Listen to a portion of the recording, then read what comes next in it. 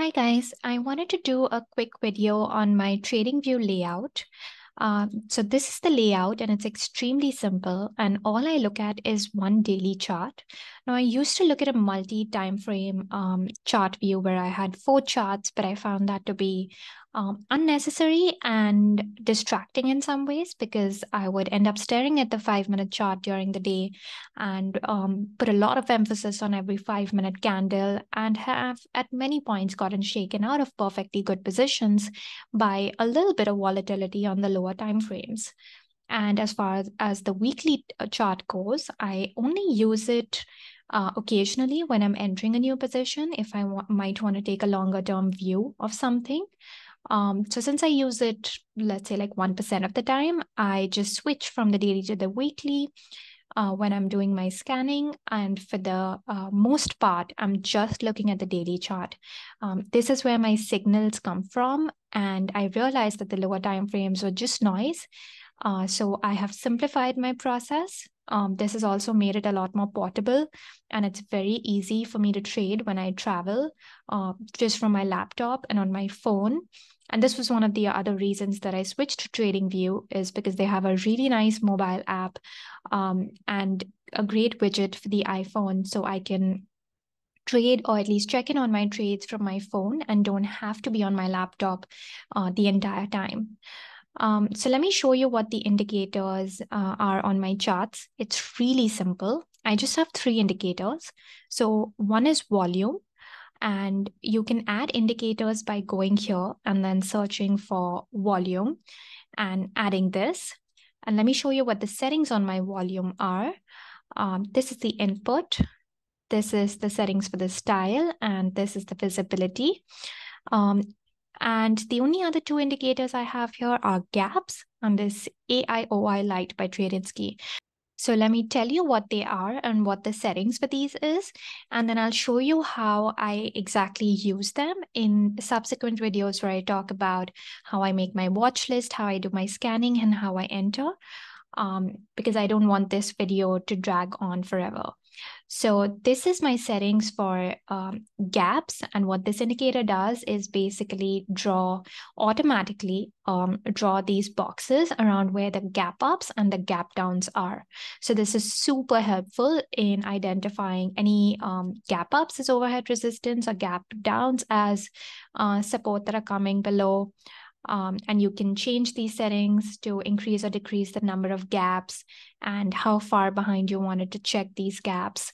And this is my um, setting for style, and these are my settings for visibility. Now, this AIOI light by Tradinsky is a really cool indicator made by one of my followers, uh, Tradinsky. I'm not sure if he wants his name out there, so I'm not going to say it. Uh, but I am super grateful for uh, for him making this because what he's essentially done is combine all the indicators that I need um, into one really cool and easy to use indicator. So the way you can add this, and he's made it free for everyone. So thank you for doing that. Is I think you search for Tradinsky and then you select this one, the AIOI Light by Tradinsky. And I'll show you what my settings are and how I use it. Um, so as far as inputs, I use the big up, big down day. And I'll uh, talk about how I use that when I do my scanning, because that's essentially where it shows up. And I use the VWAP, and it plots the four moving averages that I use on the charts. Uh, now I use SMAs and not EMAs, and that's simply because I'm a simple person. So I like the simple moving averages. I use the 10, 20, 50, and the 200 day um, simply because they're the most uh, commonly used ones. And so they end up becoming self fulfilling prophecies. And I use the tight days, which are basically bars that are 50% of a candle's ADR. And in case that doesn't make sense to you, um, I will talk about how I um, use that when I'm talking about my scanning and my watch list building. And I have this setting for inside bars. And this position is of the text that comes at the bottom. And here you can choose what you want to include in the text. And I have all these options checked. Um, for style, this is what my settings are. And you can change the colors, of the moving averages, um, based on whatever your preferences. This is just how I've been using it for years. And so my eyes have been trained to this. And this puts little white dots below any tight days or below any inside bars. And again, I will discuss what these are and how I use them when I talk about my watch list building. But for now, I just want to give you a sense um, of what this indicator is doing. And um, this is my setting for the visibility. And that's all there is to this trading view layout. It's not complicated at all. And I believe because it only has um, two indicators, essentially, uh, you can use a much cheaper plan to get it. Um, I am not um, a, a trading view affiliate or salesperson in any way. So don't ask me the details for how much it costs, blah, blah, blah. And I think it's also different by country and different based on plans, etc.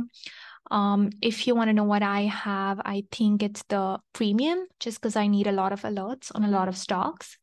And I'm going to be sharing my layout so uh, you can get the link below in the description. And I'm also going to be including a link to sign up for TradingView if you don't have it already, in case you want to try it out.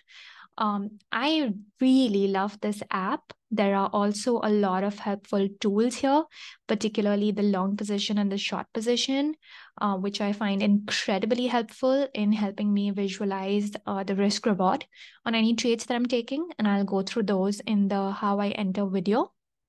But um, I have absolutely loved my migration from TC2000 to TradingView. And I think this is what I'm going to stick to um, for the rest of my trading life, unless something better comes out. Uh, so I hope this video has been helpful and you can get the links from the description below. Thank you.